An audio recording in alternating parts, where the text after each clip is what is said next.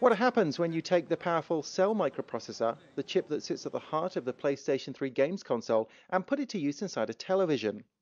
Toshiba is demonstrating just such a TV at this week's International Consumer Electronics Show, and the results are impressive.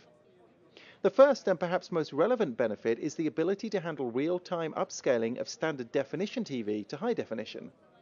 This is the standard definition source.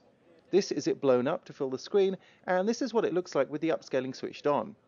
The difference is difficult to see in our video of the screen, but if you sit in front of the TV, it's quite obvious that the right-hand picture is superior.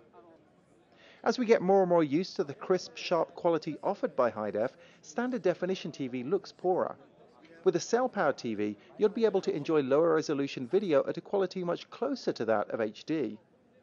And the upscaling doesn't stop there.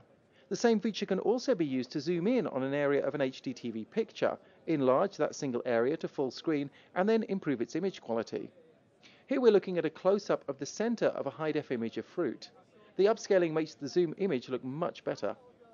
The cell also makes it possible to watch a number of video channels simultaneously. In this demo, the chip is streaming 48 chapters from a standard definition video file in real time. Clicking on one of the clips, in this case a Toshiba TV commercial from China, brings up a preview and another click brings it up full screen. If the video streams were high def, the cell would be able to process six of them in real time. The Cell chip was developed by Toshiba along with IBM, Sony and Sony Computer Entertainment and is dedicated to graphics processing. Each chip contains a single PowerPC core and eight co-processors to make heavy-duty processing of video a breeze.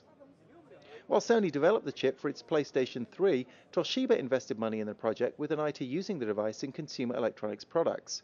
But until CES, the company hadn't shown a cell-powered consumer device.